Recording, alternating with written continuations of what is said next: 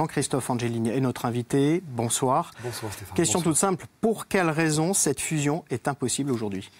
Les Corses l'ont compris. Il y a des problèmes qui sont posés depuis longtemps en termes de gouvernance, de ligne politique, la nôtre étant connue désormais, c'est de l'autodétermination, en termes de conception générale et d'organisation euh, des choses. Donc on ne va pas polémiquer ni épiloguer.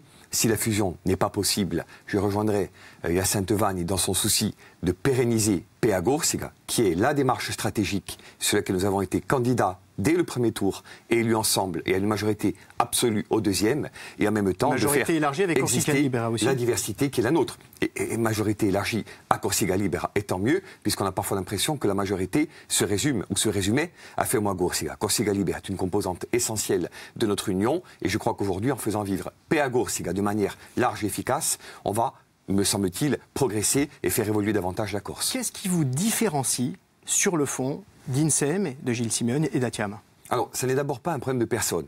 J'ai entendu dire ces dernières semaines ou ces derniers mois qu'il était question de querelles d'ego, euh, de querelles d'hommes, de calife à la place du calife, toutes choses qui en Corse malheureusement font trop souvent le lit de la rumeur et de la polémique. Je voudrais dire également qu'il n'y a pas euh, précisément de désaccord personnel. Il y a une divergence politique qui est actée. Et sur Mais quoi porte-t-elle fond, Jean-Christophe Angeline, qu'est-ce qui vous distingue des autres Qu'est-ce qui vous distingue des trois autres niveaux qui ne sont pas rédhibitoires, mais qui sont assez importants pour justifier notre présence. Le premier, je le répète, c'est la ligne politique. Nous ne pensons pas aujourd'hui que la question de l'autodétermination soit suffisamment tranchée. La deuxième, c'est celle de la gouvernance. Veut-on un parti nationaliste clairement inscrit dans la continuité des 50 dernières années, ou bien un parti de gestion qui ne soit plus un parti de militants, mais plutôt un parti qui lentement mais sûrement devienne une formation d'élus, de cadres, de permanents. Il en faut, nous en sommes, mais ça n'est pas notre souhait. Ce que nous, nous voulons, démocratiquement, c'est renouer avec un combat politique, y compris par rapport à l'État, et un certain nombre de réalités qui nous mettent en situation d'être plus en prise avec notre peuple.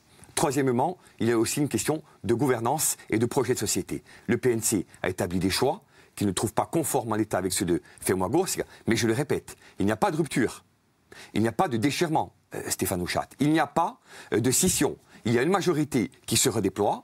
Il y a vraisemblablement d'autres réalités qui maintenant vont émerger, mais il n'y a pas de conflit entre nous. Le contrat PA-Gorsiga demeure et il n'y aura aucun coup de canif, comme je l'ai pu l'entendre, en tous les cas de notre part. Est-ce que l'été dernier, vous n'avez pas essayé de vous rapprocher davantage de Corsica Libera en particulier? Alors- Et est-ce qu'aujourd'hui, ça n'explique pas en partie les difficultés pour arriver à cette fusion? Non.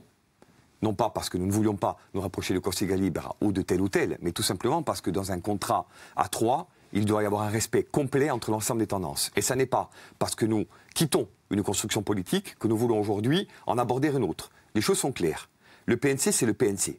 Et il est une composante essentielle de la démarche PA Gorsica. Donc oui, il y a Corsica Libera, oui, il y a INSAM qui maintenant change de nom pour devenir FEM, et il y a bien sûr notre formation dans une loyauté complète. Et moi, je veux rassurer les électeurs et les Corses, parce que j'ai entendu ces dernières heures que cette euh, attitude allait être synonyme de rupture. Encore une fois, pas du tout. Nous sommes fidèles et loyaux en tout point à l'accord qui a été passé, et jamais, jusqu'à la dernière heure de la mandature, nous ne changerons de voie ni de stratégie. Pas de rupture. Est-ce qu'il y aura la création d'un groupe à l'Assemblée de Corse du PNC Écoutez, mécaniquement, oui. Mais encore une fois, ce n'est pas l'essentiel du message. Notre message à nous, il était simple. Pourquoi nous n'irons pas le 2 décembre à Corti? Ce n'était pas le message d'un homme ou d'un groupe, mais celui d'un parti politi- politique, collectif et structuré. Deuxièmement, pourquoi pensons-nous qu'il faut maintenant structurer Gorsiga Parce que les Corses réclament des résultats. Et qu'aujourd'hui, je le dis tranquillement et sans polémique aucune, au contraire, nous estimons que faire Fais-moi Gorsiga au forceps, en nous soumettant à une forme d'injonction, n'est pas, n'est pas la priorité des Corses. La priorité des Corses aujourd'hui, je l'ai dit et je le répète, elle est dans le combat contre la cherté de la vie, contre la précarité, pour le logement, pour le foncier, pour euh, mieux vivre dans ce pays. Et c'est là mon objectif et l'objectif de tous les militants du Merci. PNC et de PA Merci Gorsiga. Jean-Christophe Angeline d'avoir été Merci notre invité dans ce cours Casier.